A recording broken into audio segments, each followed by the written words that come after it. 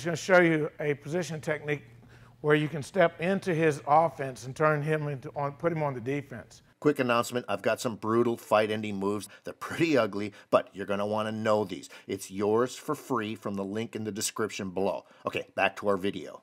So when I step back one, he follows me. All right? I'm going to take one step, he follows me. When I start to take my next step, I want to catch him between steps.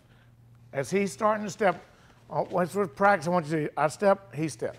This time when I step, he step, you come right back into him in the middle of the steps, catch him off balance, and, it, and he's running into the punch. It's really going to hurt. So I'm going to take, all right, I'm going to take, he's just following me. Step, step, bang, and catch him coming in. And that's just called entrapment footwork. So you think about positioning. And remember also, when you get too close to a guy, you can't see his hands. He's all up here in my face, you know, he's cussing at me, and all of a sudden, bang, right? Think about it like this. Roger, let's walk a little closer over here where maybe, can you see my hands where, where we are? All right. So we're sitting here like this, and it's the same effect.